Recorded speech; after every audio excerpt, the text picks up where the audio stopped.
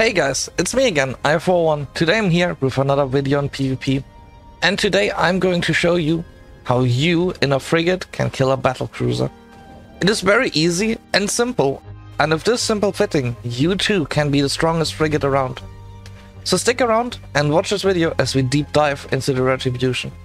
But I also wanted to thank you all for your massive support. I started this channel dedicated to EVE a little over a month ago and I already wanted to make a thank you video for 500 subscribers. But it's already a bit more than 500 and if this goes on, it will turn into a thank you video for 1000 subscribers in no time. Anyway, a big thank you to all of you guys. You're awesome. But if you want to go and hang out with me, also go check for the Discord link in the description. Hope you guys are having a phenomenal time and I hope we will keep on going strong. Anyway, let's get right into the actual topic of this video. The Retribution is a T2 Amarr assault frigate. Its skill requirements aren't very high, and with Amarr Frigate 5 opening so many possibilities for you, it is a valid starter option for anyone.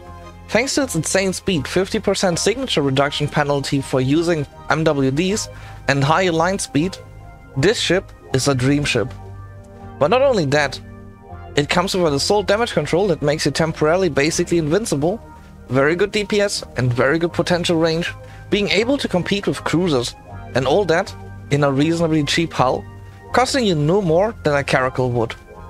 But skills are king, and you should make sure that even if you got the ship, you should make sure that you have decent gunnery support skills as well. It affects all guns, so make sure you get those skills up anyway, even if you don't want the ship. They will help you with range, tracking and DPS, just making you stronger in general. So make sure that you get all the skills listed here to help you with your speed, but also especially the rigging skills, so the fitting actually works at all.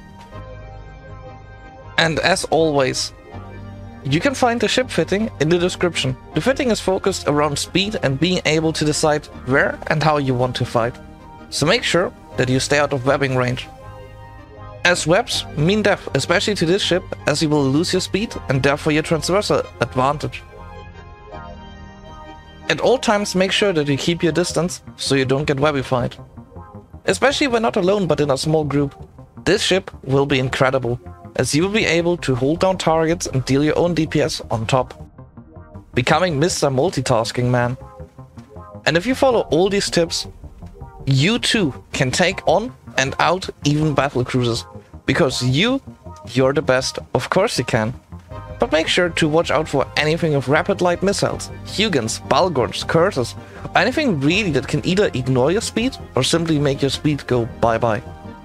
But also make sure that you always switch between your different ammo types. It goes instantaneously with crystals, so always use the appropriate damage type for what range you're fighting at.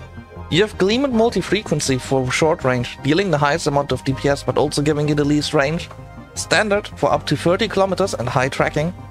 And Aurora for insane range, but the tracking will suffer. Although due to it being tier 2 ammo, the damage will not suffer that much. Anyway, this is all from me guys. Now go ahead, grab your retributions and grab your friends and blow up some stuff. Did I mention that this ship does mainly EM damage, meaning it is perfect for killing Ishtars? Well, now I did. Hope to see you guys next time.